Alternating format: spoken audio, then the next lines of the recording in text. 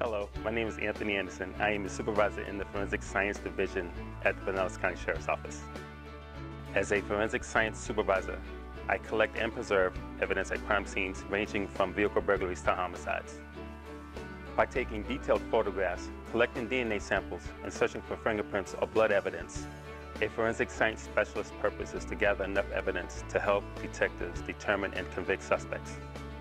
As a supervisor, I take on additional responsibilities, like responding to major crime scenes and approving reports from the 26 specialists who respond to roll calls. The Forensic Science Division utilizes a lot of cutting-edge technology, not only to gather and preserve the evidence, but to accurately and effectively present it to the jury in court.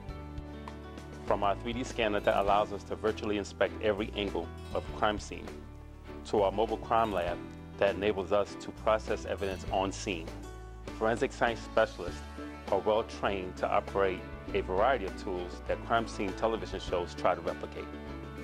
One of my favorite parts of the job is demonstrating to the public how we use some of our most interesting equipment through Sheriff Citizens Academy classes and community presentations.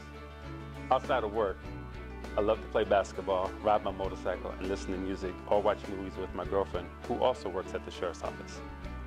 Together we have a cat, Seth, and a dog, Nellie. I have lived in Pinellas County for more than 30 years. When I first joined the Forensic Science Division in 1992 with no prior experience, all of my training was done in-house.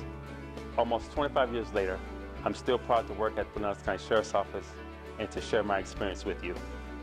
It is my pleasure to serve you.